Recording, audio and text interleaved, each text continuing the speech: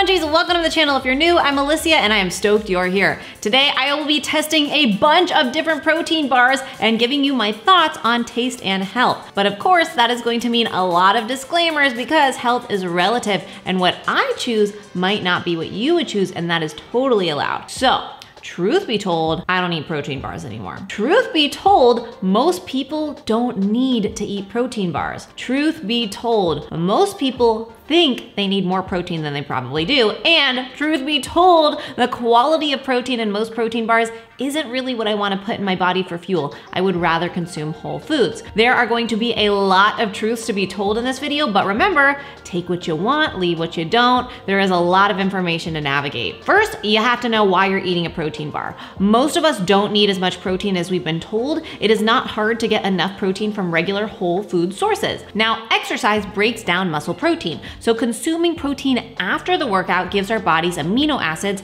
to repair and rebuild those proteins, as well as essentially the building blocks to build new muscle. So if you are looking for something to specifically fuel your recovery after a workout, a protein bar could be a convenient option. But remember, you don't not benefit from the workout if you don't eat after it. You still did it and your body still appreciates it. A lot of people think that they need a protein bar after and they end up eating candy in disguise and essentially negate all the work that they just did. They would be better off eating nothing than the candy bar. There are hundreds of bars, so my approach to this video was simply, hmm, hmm, what would I eat? Now, this video is not sponsored. I went to about five stores and just picked out the ones that I thought I might actually consider including in my diet or recommending to someone else based on the stats. These choices are some of the cleaner ones I could find, but I will say that I won't actually eat all of these, although I will taste them for you today. But first, let me tell you my protein rules. Number one, protein to calorie ratio. It is a protein bar after all. A lot of bars say protein on the wrapper, and then there's like 10 grams of protein or less. Come on. Most people, depends on who you ask, of course, suggest 20 to 40 grams for post workout. For some, that's probably more than we need. For protein, if about 30% of the total calories of the bar can be from protein, that is great for me. It can't always happen when adhering to all of my other rules though, something's gotta give. Two is carb count. So carbs are also good post workout. Carbs combined with protein can maximize protein and glycogen synthesis. The amount of carbs that you will want will vary based on the type of exercise you do and your body, of course. An endurance athlete, like a runner or a swimmer, might need more carbs than someone doing weightlifting. But maybe not. It depends on what type of weightlifting you're doing. If you're not working out as often, you probably need less carbs for that recovery. So if you're a regular person like me, just wanting a post workout bar, I want carbs to be reasonable. I don't want to consume a piece of cake, but I recognize that some carbs will help with my recovery. If your goal is to lose weight, you may want to consume and need to consume less carbs.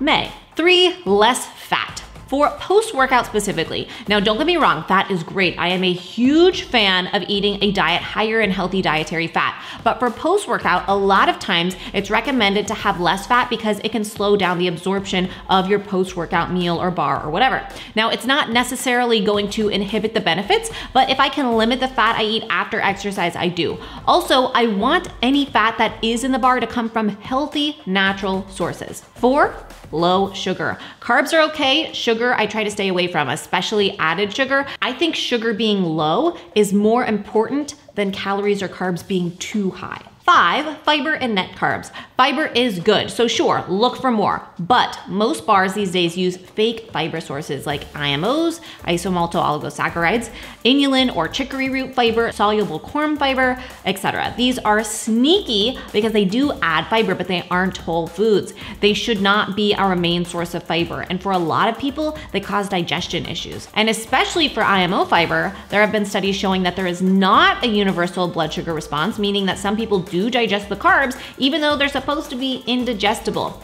Net carbs are carbs minus fiber. Some people like to think that only net carbs count. I don't recommend this approach. Carbs are carbs, and fake fiber is not going to be processed like it would with whole foods. I'm not saying that you should avoid it completely, and if you don't have the digestive distress, then it might be fine for you, but don't use it as your main fiber source, and don't think that the calories or carbs don't count. Six ingredients. So for me, no aspartame. I don't personally like to consume sucralose either. Some of these bars do have sucralose. They would not be a part of my regular diet. I would go for stevia, monk fruit, or erythritol. You can check out my Sweeteners 101 video for more on that.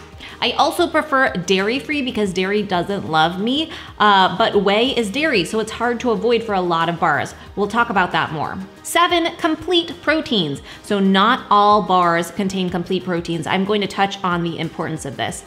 And number eight, of course, taste. And let's do it. So I did a video years ago and it needed an update because there are so many new bars out there. I saw a few I was excited about, two of which were these collagen-based bars. The Bulletproof Collagen Bar Apple Pie flavor and the Primal Kitchen Coconut Cashew Collagen Bar. These bars have pretty clean ingredients compared to mainstream bars. Downside, they only have 12 to 13 grams of protein and contain 12 grams of fat. So this is higher in fat and lower in protein than I'd want for post-workout. But the main downside and reason I would not recommend this for post workout specifically is it's a collagen based bar. I might say this could be a snack, although I try not to turn to bars for snacks, uh, but not for a post workout bar. So stay with me for a quick educational detour. Collagen is a type of protein our bodies produce naturally, but we can also get it from supplements. And it's made from bones, skin, and cartilage of animals and fish. It has become really popular lately, and rightfully so, because collagen makes up about 30% of the proteins within the human body. It's great for joint health, complexion, and longevity, skin, hair, nails, etc. The catch is collagen is not a complete protein, meaning it doesn't contain all of the essential amino acids. There are 20 different amino acids that can form a protein protein and nine that the body can't produce on its own. That's why they are essential. We have to eat them because we can't make them ourselves. Complete proteins can come from animal and plant sources. So whey and egg protein are two complete animal forms of protein, for instance, and hemp and soy are complete plant-based proteins. Collagen, however, only contains eight of the nine essential amino acids. Now, that doesn't mean it's not worth consuming. I have collagen every morning in my coffee, but for the purposes of the protein bar like I mentioned for hashtag gains, I want a complete protein option. So let's give them a try. All right. Hmm, okay. The bulletproof one is crumbly and soft. It also melts in your mouth. It actually does taste like apple pie and not like an artificial flavor, probably because it contains actual apples. I can definitely taste the cashew butter. It tastes clean, I like it. Okay. A Primal Kitchen one is very chewy. It's not as sweet, which I prefer. I think a lot of times protein bars are too sweet and I don't love the sweetenery taste a lot of them have. But this one I cannot taste it, which is nice. It tastes like coconut, but it's sticking to my teeth a little too much. Okay, next up are these Rise bars, the simplest protein bar, and I think that is a fair claim because I cannot believe these ingredients. Almonds, honey, and whey in the regular one, and cashews, coconut nectar, pea protein, and lemon extract in the vegan option. So it couldn't get much cleaner than that, which I love. The vegan one has 15 grams of protein. It is harder to get as much protein from plant-based sources, so that's expected, but pea protein is a good choice because it is a complete protein. It has all of the essential amino acids. Not all plant sources are like that. Rice protein, for instance, is not a complete protein. So these have good levels of protein and carbs. The main downside is they are higher in fat, which I prefer to keep lower post-workout, but I'll take the fat because it's from a healthy source like almonds. So it's a win. All right, the almond honey tastes like almonds and honey, big surprise. What is a surprise is that it actually doesn't taste proteiny. It's smooth and creamy. And oh man, I just love how few ingredients it has. I would eat this bar. Mm, okay, vegan lemon cashew. It's soft and smooth. I like the lemon flavor a lot. It is a bit chalky from the pea protein. It's gonna be the case with almost any pea protein bar powder, unfortunately. These also do have a little bit more sugar, 12 to 13 grams. It's a little high for me, but knowing what the ingredients are is a good sign. Okay. Okay, Nuvo bars are next. They are noted as whole foods, and I do love the ingredients list, short and sweet. The protein is all coming from egg whites, which I much prefer to whey or any other processed source of protein. That being said, without supplementation of the protein, they are going to have less of it, so 12 to 14 grams. They are lower in fat, which is nice, but the total sugar adds up even though the added sugar is zero because the first ingredient is dates. So it's a clean bar, but it could have more protein and less total sugar to fit the bill. All right, let's try peanut butter first. Okay, peanut butter is very sticky. I hate when it gets stuck in my teeth. It's nutty, sort of like a Larabar, but with only nuts and no dried fruit. it's very oily, super oily. Sticks to my teeth too much. My jaw gets tired trying to chew it. A little less oily, still very chewy. Better, but not my favorite. I don't think I would eat either of these regularly. Mmm. Jimmy! Wake it up! Clean protein bar is next. It, it caught my eye at Walgreens, believe it or not, because it says clean. Also, white chocolate cafe latte flavor. I love white chocolate. Is it too good to be true? Fat isn't too high, carbs, sugar, and added sugar are all pretty reasonable, and over 20 grams of protein. I was also surprised to see the ingredients list isn't as long or overwhelming as I would have thought. I will say, I don't love soy protein crisps as an ingredient. I am not a huge fan of processed soy. I don't love seeing vegetable glycerin or palm oil, but it could be worse.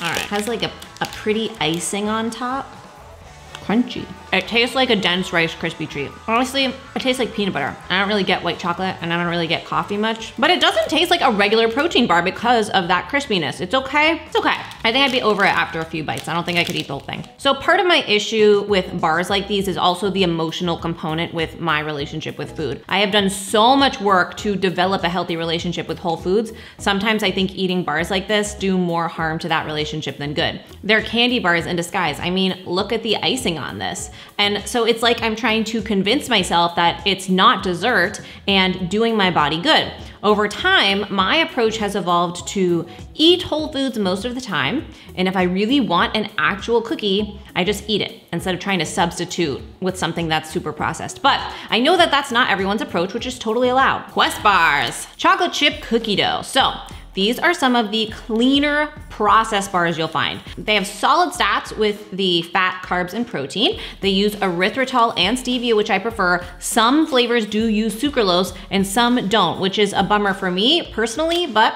whatever. This could be a solid choice, but there's still a compromise being made as there has been with all of these, at least for my personal protein bar rules. It tastes very sweet too much sweetener for me and it does taste artificial and a bit processed. It's more like a candy bar, but I'm not sure cookie dough is how I would describe it. I honestly, I used to be a big Quest bar fan before they changed the formula from IMO fiber to corn fiber. That being said, I do respect that they made the change because I know that they did it to address the fact that those studies were coming out showing that IMO fiber didn't have a universal blood sugar response and they wanted to be sure that their product was affecting people's bodies as they claimed. So I totally respect the change, but I miss the taste of the old bars because this doesn't taste as good to me. One bars are similar to Quest in terms of ingredients. They do use the IMO fiber instead of corn, which does taste better in my opinion, but I don't love the idea of consuming it as much. So studies have shown that IMO fiber can actually generate a glycemic response that is more substantial than regular table sugar. The question is, does it depend on the bar, the company, and the type of IMO fiber they're using, or does it depend on the person? Experts say it really depends on how the fiber is made, which is of course not going to be on the ingredients list. I can't know looking at the label, and my feeling is if it's this complicated to figure out, do I really want it? Anyway, the regular one bar and the one basics bar are similar, but the basics version is a tad cleaner. Hmm. So this basics cookie dough bar, it tastes more like cookie dough than the Quest one. And I think it tastes less artificial. And I think it's better than the Quest bar. It's doughier, it's less plasticky. The blueberry one, I've tasted it before. Mmm, it's so good. It's like a Pop-Tart. I mean, it's the best one I've had today and probably will be the best one. It's just too bad that they use IMO fiber and sucralose. I can taste the protein, but the tartness of the berry flavor really helps to balance out the sweetness. They both have vegetable glycerin, but the basics does use sunflower lecithin. It's not my favorite, but it's better than soy lecithin, which the other one uses. And the basics one uses stevia versus the regular, which uses sucralose. So small changes, but I would honestly pick the basics over the regular because of those ingredients, even though man, The blueberry cobbler one tastes really good. Okay, I do have to quickly stop and just remind you to press subscribe to the channel if you want more videos like this. Hit that bell so that you can be notified and please let me know what you would like to see so that I can do the research and get that out for you. No cow bars are next. So these used to be called D's Naturals, I think. This is a vegan bar and it's actually pretty solid with ingredients and stats. It's lower sugar and fat, over 20 grams of protein. It is a high fiber bar because it's IMO fiber, wah, wah. but the protein blend is pea and rice protein. So there are complete proteins in this vegan bar and the other ingredients aren't bad. Erythritol, stevia, and monk fruit sweetener, which is preferred for me personally. I'd say the main downside is the IMO fiber for me, but it's just everywhere these days in protein bars, which is a big reason that I've stopped trying to include them in my diet. First, let's try the vanilla caramel. Okay, it's like biting into, it's like biting into a piece of chalk. It's the pea protein. I just don't know if anything can be done about it because it's the nature of pea protein. There's a mild caramelly flavor, but honestly, the texture is just making me think that there's dirt in my mouth. How about chocolate peanut butter? It's a little bit better. I think the peanut butter helps with the chalkiness a little. It's a little bit more pleasant, but it's not my favorite. I couldn't eat the whole thing. So it was cool to find these next ones by Julian's Bakery. There seem to be three different ones, but it's all the same brand. So the Primal Thin variation is a whey protein bar. This is a sweet cream flavor. There are only four ingredients. Organic grass-fed whey, always a plus to see grass-fed and organic, organic digestive resistant prebiotic tapioca fiber, sunflower butter, and monk fruit. Nice, except what is organic digestive resistant prebiotic tapioca fiber? So tapioca fiber is a toughie because it can be the same thing and labeled differently. Sometimes tapioca fiber is actually IMO fiber. So I don't wanna completely revisit IMO fiber again here, it's your choice to make, but a lot of experts claim that tapioca fiber and starch, even though it comes from the cassava plant, is essentially empty calories without nutrients and in some senses may be worse than sugar. Hmm very chewy. It actually tastes like sweet cream in flavor. That's subtle. I like the flavor actually. I don't love the texture. It's too chewy and sticky and sort of hard. Meh. The paleo variation uses egg white powder as the protein source. I love it. I much prefer that to whey, but it still contains the tapioca fiber. This one also has organic donut flavor, which I thought was funny. It makes it sound as if the organic donut flavor was like growing out of the ground. Uh, and it's sweetened with monk fruit also very chewy. The donut flavor, it tastes like more like vanilla and maple. It's natural, but it does sort of taste artificial or like extracty in the aftertaste. I like the ingredients a little more, but I'm not about the taste. And the Pegan version, Pegan is supposed to be like paleo plus vegan if you aren't familiar. It uses organic pumpkin seed protein as the base. Neat, but also tricky. So pumpkin seeds actually are a complete source of plant protein, but they are low in some of the essential amino acids. So they don't actually provide a complete source of protein in every bite. Hmm, does that make sense? It also contains the tapioca fiber. This is vanilla cinnamon. It's a little sweeter than the sweet cream one. I don't like I don't like it when it's too sweet, so it's a little much for me. It tastes stronger. It also tastes more fake. The pumpkin seed protein though, it's not as chalky as the pea protein. It's a little easier to swallow, literally, but I don't think I'd eat it regularly. At the end of the day, these companies want you to buy their bars. They are gonna put whatever they need on the label to convince you that it's what you want and need. Oh, you realized you don't wanna consume IMO fiber? We'll just call it organic prebiotic tapioca fiber instead and even include the health claim that it's now with probiotics and prebiotics on the label to convince you that it's what you want, even though it's the same thing and really isn't doing you any good. Now, listen guys, I am not here to tell you to eat or not eat these. I don't care what you eat, but I get asked all the time, is this bar or that bar healthy? And the truth is, it depends on you and what you want. I don't wanna eat more processed foods and protein bars they don't grow on trees, they're processed. I'm not saying that you can't eat them or that they're all bad, but you've gotta weigh it out based on your goals and what you wanna put into your body and you know, how frequently you want to include them. Again, truth be told, most of us don't need that much protein and we likely don't need protein bars to meet our intake. They are just a convenience. So what do I actually eat?